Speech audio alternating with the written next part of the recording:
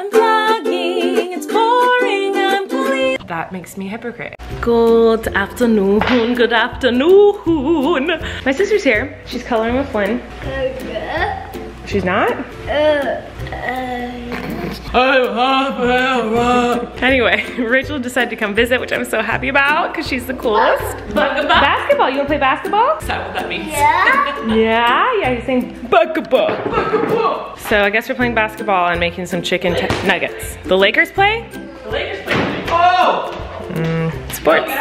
Hello. So I just uploaded the vlog for today. I'm feeling very sleepy today.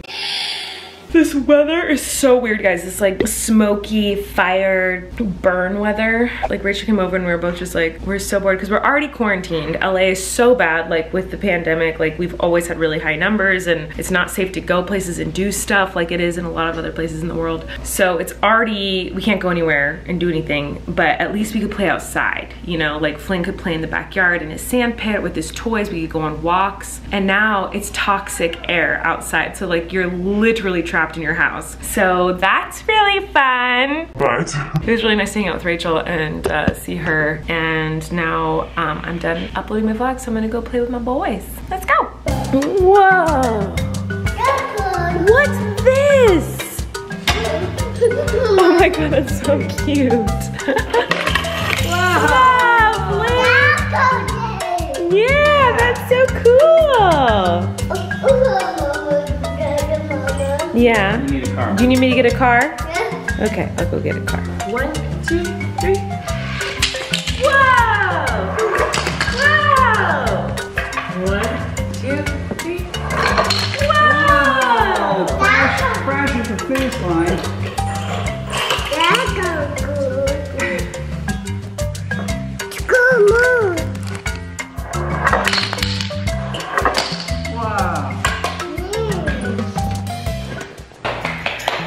Didn't of it, but I made chicken alfredo, which I've never made before, and some broccoli, and Eric made garlic bread, and we're gonna eat some dinner, and we're gonna watch probably some show about murder. Come on. Come on. Okay guys, so I just did a TikTok trying on. I got a bunch of new bangs. I got a bunch of new bangs in the mail. You guys saw a few days ago I got some bangs, but I got new ones. And I just tried them on for TikTok, but I only tried them on for like two seconds at a time. So I'm gonna do it again for you right now. So these I think are very similar to the ones I already Oh no. They're very similar to the ones I already got, but they're like, ew, they're like slimier or something. Like they look more greasy. So not good. Let's try the next pair. So I have another bang on a headbang. Headband, not headbang. These smell really bad. These are so thick. that is not Oh my god, they're so thick. They remind me of this one girl in like every 90s movie. There's this red-headed girl that was in every 90s childhood movie. I don't know why. I don't, yeah, I can't even tell you what movie she's been in, but like I feel like I can see her in my brain and she had really thick bangs like this. Anyway, let's do the next one. We have these which have like these like, I'm sure I'm supposed to straighten them, but who has the time? So when I tried these on for TikTok, I thought this one was really funny because of how they jet out like that. And these I feel like could be cute, like in some land, in some world, somewhere. Okay, I'm wrong.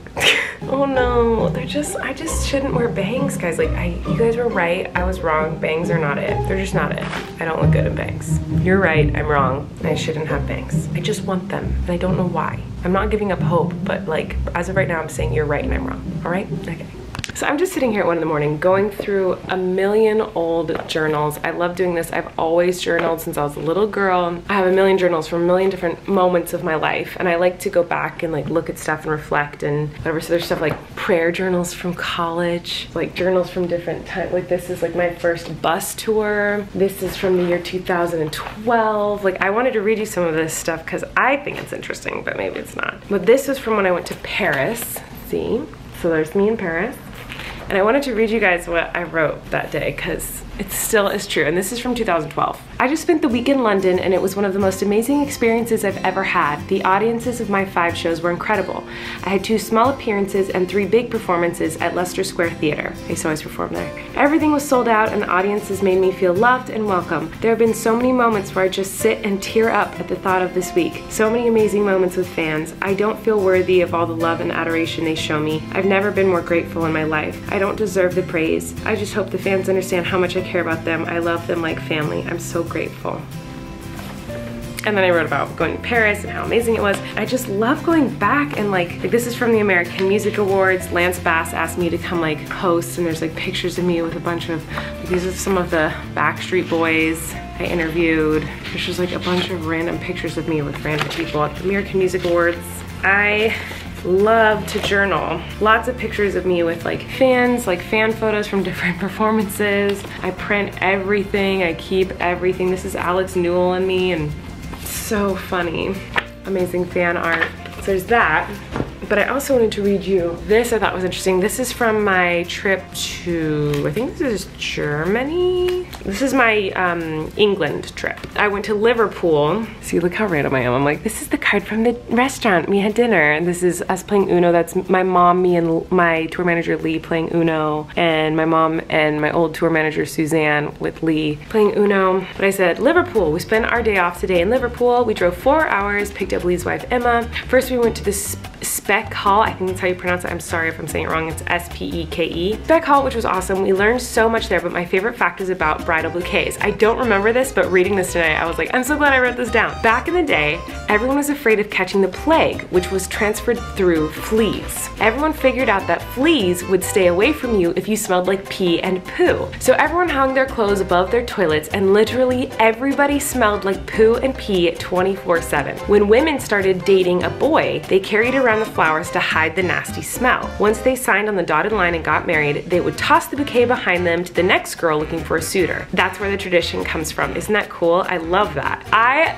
love that I wrote that down, like, because I forgot it, like from visiting that museum that we went to. I didn't remember that, obviously, but since I wrote it down, now I remember it. Yeah, I just love looking through everything, and I always put like, like I always made little pockets in my journals with fan letters that I got from people at the shows. I do this in all my journals. But I also wanted to go through, like, eh, they're all the same too. Like the way I wrote in that one from 2012, I've been writing about my shows and how I feel about performing live and my fans, like, it's never changed. Like, I still write that way about it today, but anyway, this is from my first book tour slash bus tour ever. I loved this. I put this in. It's a sweet card from a mom I got at the show last night. Says, Colleen, I just want to thank you for all that you've done for my daughter, Hannah.